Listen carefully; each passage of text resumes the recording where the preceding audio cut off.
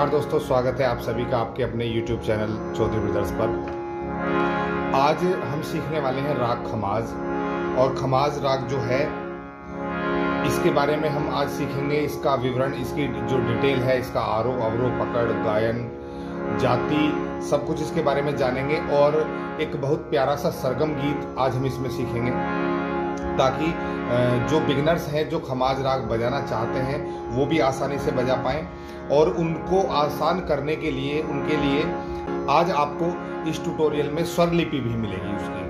जी हाँ जो मैं आपको सिखाऊँगा, आरो अवरोह पकड़ और सरगम गीत, वो सबका स्वर लिपि यानी कि उसकी नोटेशन जो है, वो आपको डिस्प्ले पर मिलेगी। ठीक है? तो आइएगा, देखते हैं सबसे पहले इसका जो डिटेल है, इसकी, इसका जो विवरण है। वो विवरण ये है कि ये, जैसा कि मैंने आपको बताया, इस राग का नाम है खमाज, और ये खमाज थाट से ही उत्पन्न माना जाता है। जो हमारे दस थाट है, उनमें थाट है खमाज तो खमाज थाट से ही उत्पन्न, यानी कि अपने थाट का ये आश्रय राग है। इसको ये कह सकते हैं आप, ठीक है? और बात करते हैं वर्जित स्वर की तो वर्जित स्वर इसमें आरोह में रे स्वर वर्जित है। जब हम आरोह करेंगे तो रे स्वर हमेशा इसका वर्जित रहेगा। अवरोह में सातों स्वर प्रयोग होंगे, ठीक है? तो उस हिसाब से अगर आप इसकी जाति की बात करें तो इसकी जाति बनेगी शाड़व संपूर्ण। ठीक है?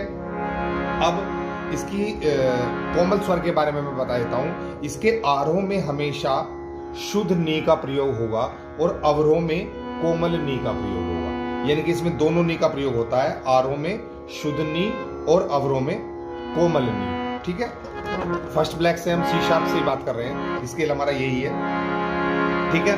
अब उसके बाद इसका जो वादी स्वर है, वादी समाधि की बात कर लेते हैं, जो इसका वादी स्वर है वो गंधार है, जो संवादी, वो इसका निषाद है, यानी कि नी स्वर इसका संवादी है। ठीक है? और इसके गायन समय की बात कर लेते हैं तो गायन समय इसका रात्रि का दूसरा पहर। जी हाँ गायन समय रात्रि का दूसरा पहर। और इसमें बड़ा ख्याल नहीं गाया जाता, इस राग में अधिकतर छोटा ख्याल और ठुमरी गाई जाती है। ठीक है? तो ये इसका विवरण है। अब देखते हैं इस राग का आरोह अवरोह और पकड़। अब देखिएगा आरोह का सा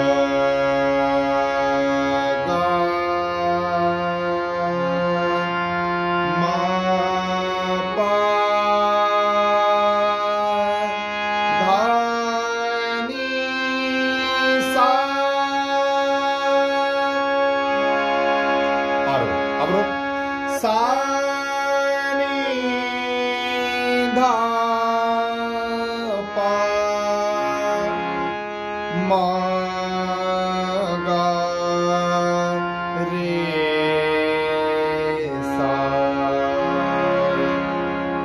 इसका आरोह अवरोह ठीक है, अब इसकी पकड़ देखिएगा।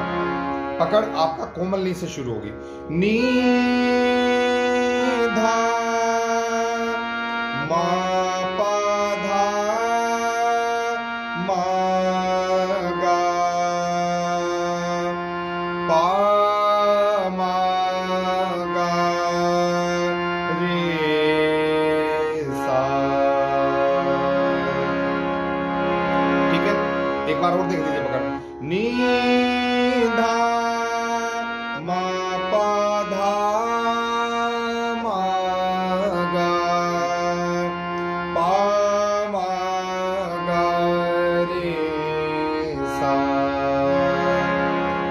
इसका आरोह अवरोह और पकड़। अब देखिएगा, इसका जो सरगम गीत है, सरगम गीत देखेंगे। सरगम गीत जो मैं आपको बताने जा रहा हूँ, जो आपको सिखाऊँगा, वो तीन ताल में है सरगम गीत इसका, और नौवीं मात्रा से शुरू होता है, यानी कि खाली से शुरू होता है। तीन ताल में आप सभी जानते हैं कि सोलह मात्राएँ होती हैं तो एक, दो, तीन, चार, पाँच छः सात, आठ, इसके बाद जो नौवीं मात्रा आती है, नवी मात्रा आती है, वहाँ से ये शुरू होता है खाली से, ठीक है? अब देखिएगा। किस तरह से आप गाएँगे? स्थायी दो लाइनें हैं स्थायी की। देखिएगा। सा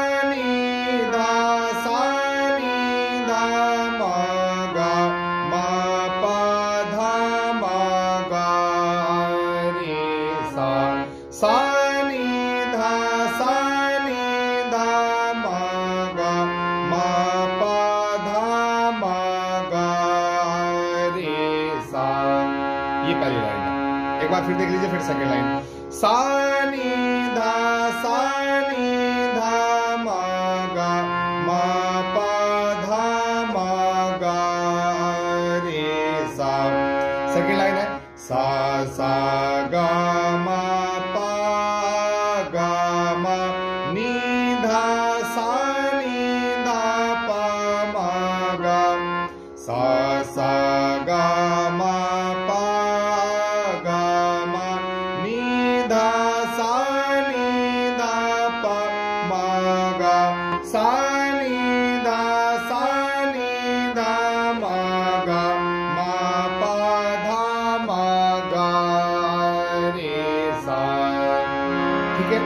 ये है आपका स्थायी अब इसका अंतरा देखिएगा। अंतरा भी इसका दो लाइनों में है, ठीक है?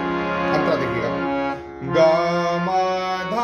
गी अब यहाँ पर आरो में, अंतरे में शुद्ध नी का प्रयोग हुआ है। गी सा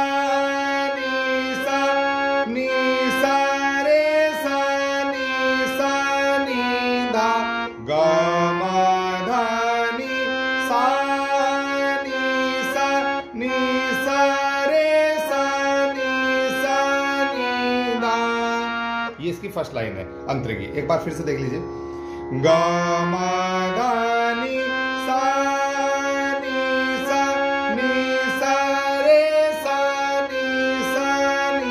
धा उसके बाद सेकंड लाइन सारे सा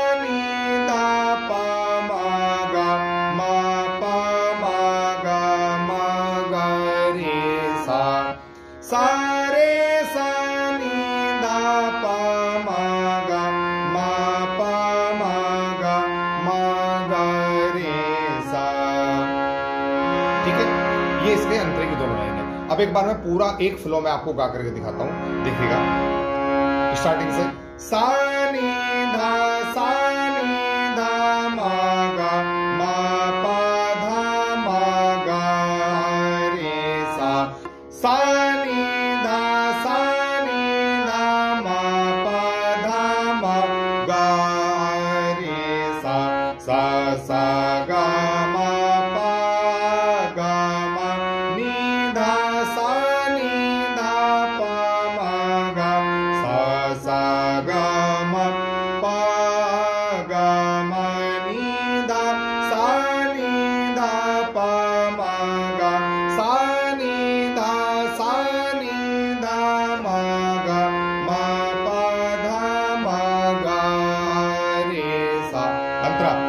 गा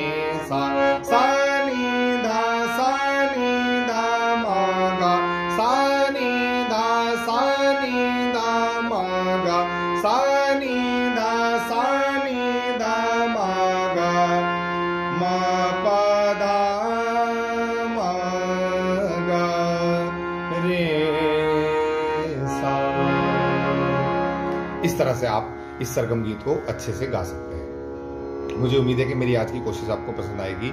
और अगर ये लेसन आपको पसंद आया हो तो प्लीज़ इस चैनल को ज़रूर सब्सक्राइब करें और इस वीडियो को लाइक करें। और हाँ दोस्तों मैं, जैसा कि मैं हर वीडियो में आपको सभी को बता रहा हूँ कि अभी हाल फ़िलहाल में हमने कुछ समय पहले अपना एक नया चैनल शुरू किया था, चौधरी ब्रदर्स ऑफिशियल। उस चैनल का लिंक आपको आज की इस वीडियो के डिस्क्रिप्शन में मिलेगा। तो अगर अभी तक आपने वो चैनल सब्सक्राइब नहीं किया है तो प्लीज़ उस चैनल को ज़रूर सब्सक्राइब करें।